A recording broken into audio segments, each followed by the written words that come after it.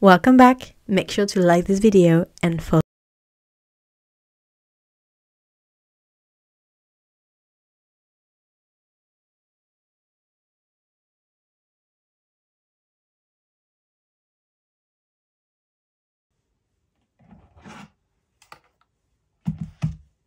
Let's go through all the material you will need today for this DIY.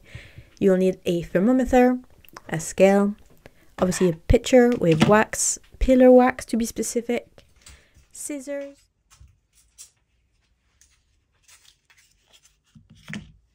cotton wicks. I'm using uh, unprepared raw cotton wick, some tapestry needles,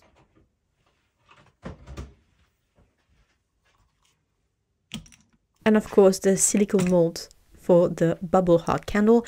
I will list and link everything I'm using in this video in the description box below. Each candle is going to be roughly 150 grams, so for two candles you want to weight 300 grams of pillar wax. So first things first, you want to make sure that uh, while your wax is melting on your double boiler, we're preparing our molds and we're going to cut the wicks. Here I'm using TCR 24 for those candles.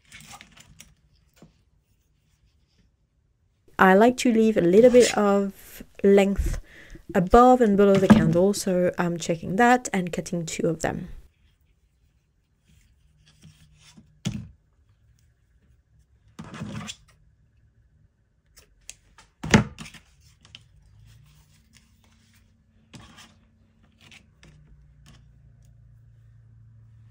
Now we need to get our wicks through, so we're going to use a tapestry needle, make sure to get the wick through as you would if you're sewing. Locate the hole. Uh, I've used those mold before, so they are already pierced. Otherwise, you will need to pierce through the silicone. And using the um, needle every time will allow that hole to remain small and prevent any leaks of wax in your mold. And it means you can use them for a longer period of time. So we're ready. Everything is wicked. I'm using the holders just to make sure they are centered. Uh, in the meantime, my wax has melted to the melting point. So I'm using Kerasoy Pillar Blend for this video. Uh, melting point is 75 degrees Celsius so this is where I'm at as you can see. Uh, I'm gonna do a peach color today for those candles so I'm using some Bekro orange rust dyes chips uh, that I'm cut in really really uh, small chunks and melting uh, and mixing into my wax as you can see here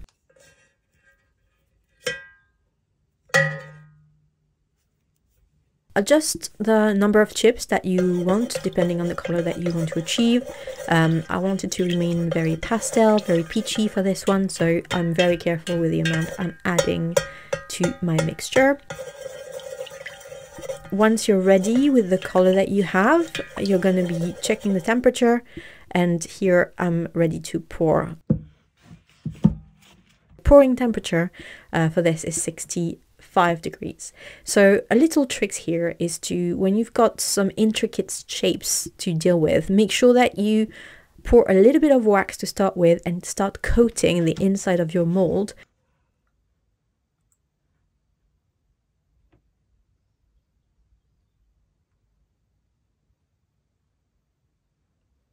So I'm pouring all the way to the top. I'm going to recenter that wick.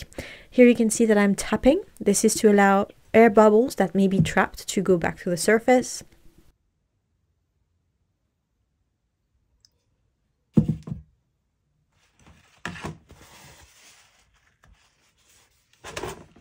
I'm gonna make sure that I coat the inside of my mold first.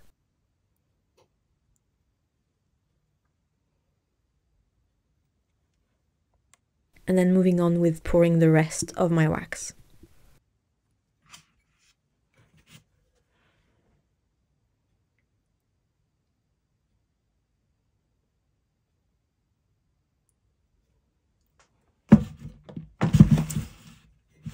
So I'm going to now go ahead and tap the candles. As you can see here, this is to release any air bubble that may be trapped at different layers. So this allows the air to come to the surface and let the bubble out. I'm going to make sure the wicks are centered properly before I let them set for a while.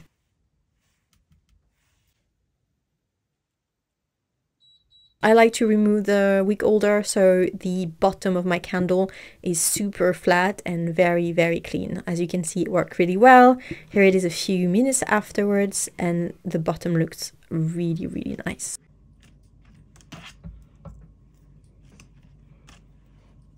Now it's everyone's favorite time, it's demolding time. So here we go. I'm gonna let you enjoy the sound of that.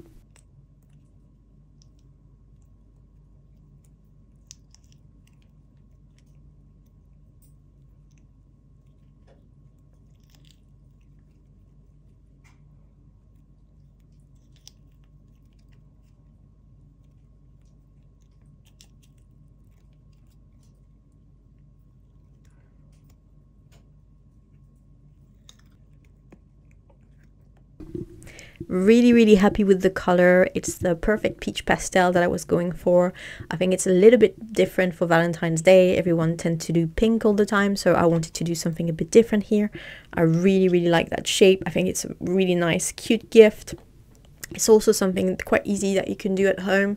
You can buy all the supply on Amazon. I will link everything below. So if you're looking for a cute DIY gift to make for your loved one, then this is a really cool one.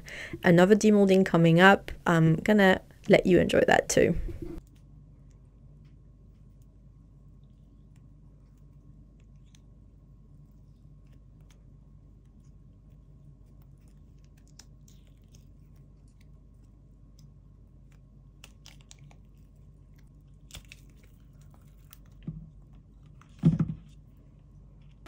I am super happy with the way they turned out. They both look beautiful.